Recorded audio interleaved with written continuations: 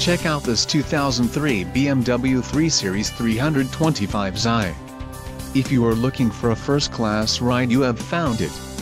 This vehicle comes with a reliable six-cylinder engine, connected to a smooth shifting automatic transmission.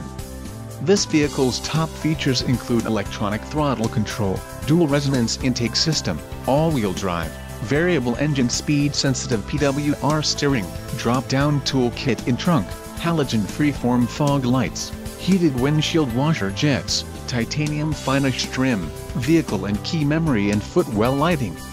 This car won't be available much longer. Call now to schedule a test drive at our dealership.